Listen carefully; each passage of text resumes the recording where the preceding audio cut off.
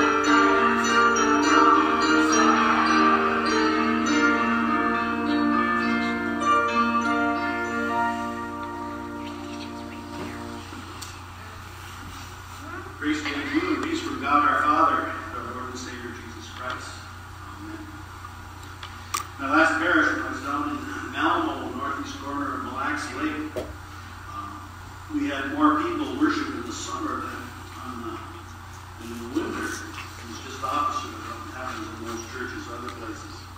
But one summer, uh, Saturday evening service, in walked uh, eight people, four of them eight guys. They sat four by four behind each other, and I found out as I introduced myself that they were all doctors. And um, they were on retreat. They worship. And the lesson had to do with uh, the, uh, demoniac. Jesus cast out legion, uh, which is like 6,000 troops, okay, from one man. Cast out the demons. And I thought, here's all these educated 21st century doctors who are supposed to be intelligent, and this is the lesson that they get about demoniacs. I thought, you better get going with this. What are you going to them? I started thinking about some of the demons that I fight, that we fight, like alcoholism or drug abuse or gambling or anger management programs or emotional problems or some physical problems, people that have fits and things like that. And what I did was, I was learning.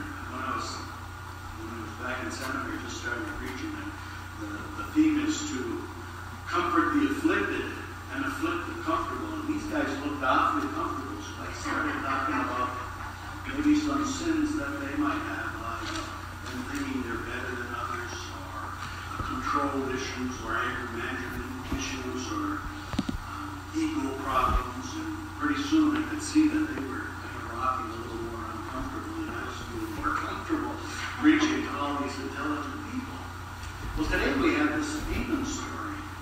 Uh, are there demons in the world today? I know there are people with emotional problems. I know there are people with mental problems. Uh, uh we use counsel and uh, counseling and, and medication to control some of these things, but there is such a thing as evil in the world. Uh, possession by demons some tragic events that, that occur.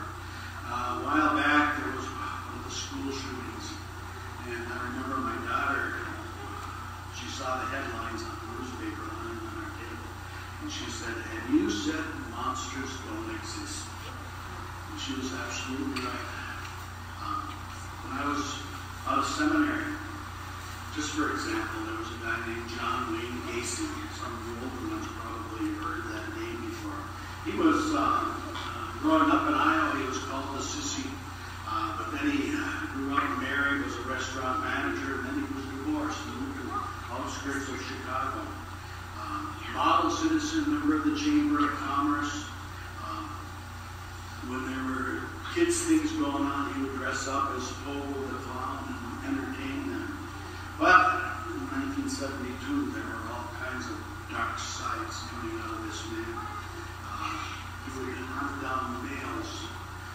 Victims, age 9 to 27. He promised them jobs, plied them with liquor, drugged them, um, sexually violated them. And when he finally tracked them down and found the bodies, there were 28 bodies on the floorboards of his house.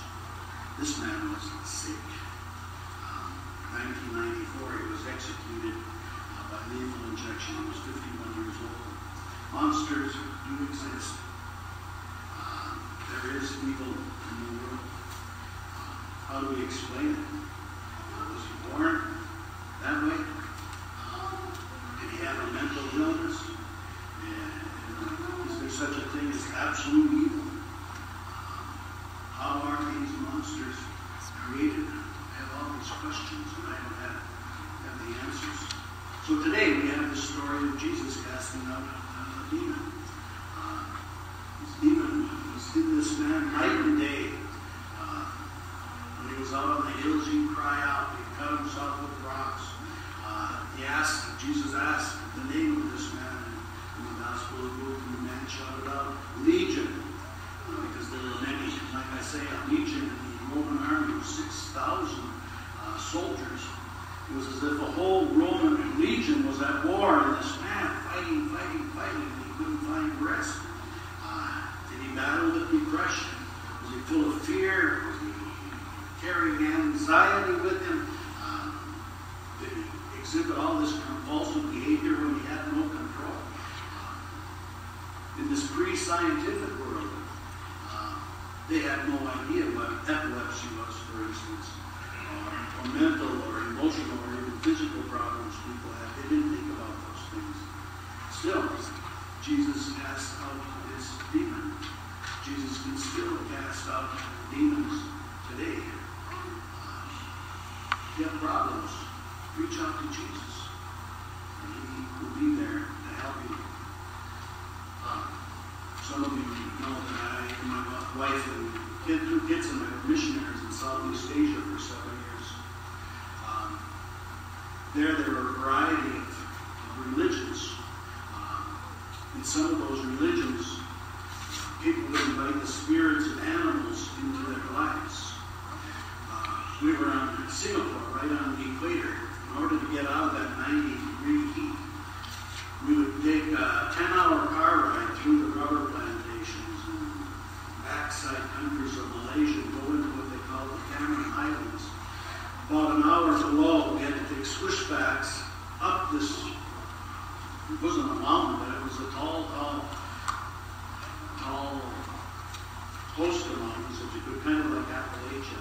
Anyway, up on top, we, we had a, a bungalow that we would go to for some R&R. Uh, the clouds, could, we could look out and see clouds below us. At night we had to build fires just to get the damp humidity out of the way and to stay warm. Well, one time we were up there, and um, we were in one of the little bungalows we had never stayed in before. When we went in, in the room where the kids slept was in a back room. There were two beds, and the kids were arguing which bed they wanted. They both wanted one bed on one side. And we said, well, our oldest daughter, Kelly, you can sleep there tonight, and tomorrow night, Jake can sleep there. And the next, just take turns. Okay. Well, that night, the, the bed that Jake was in, he just couldn't, he couldn't rest. He just tossed and turned and tossed and turned and sweated. And I was up, and Karen, my wife, was up, and I was up, and Karen was up, and the whole night. And finally, Dave came and we went out and played.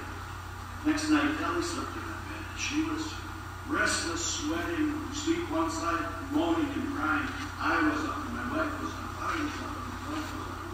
Day came. The next night, same thing. Jake was sleeping in there.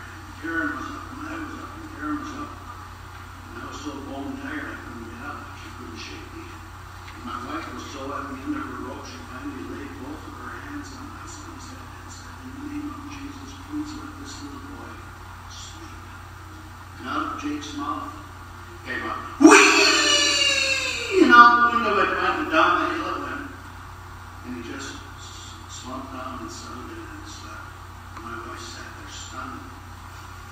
she didn't understand it. It was about four o'clock in the morning, about six o'clock. She came and woke me up and said, what happened?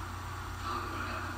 Now, me, I've been known to make up stories, but my wife is as solid as can be. And doesn't make up these things and couldn't have made this story up. But we had seen the evil one at work.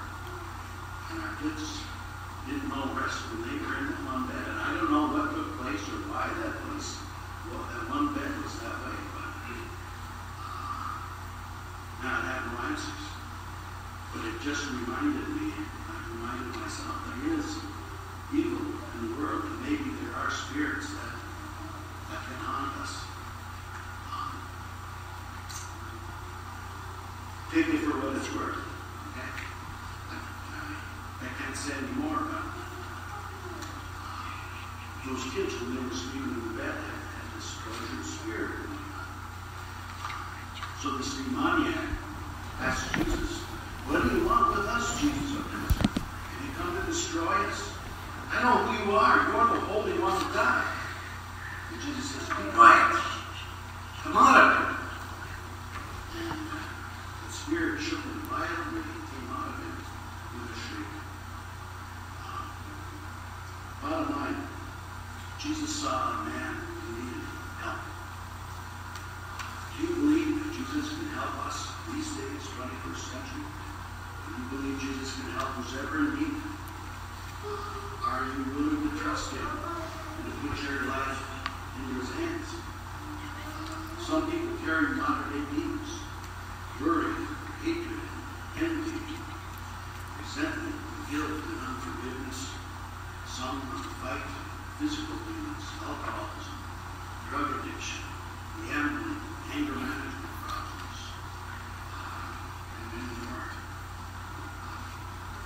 have a friend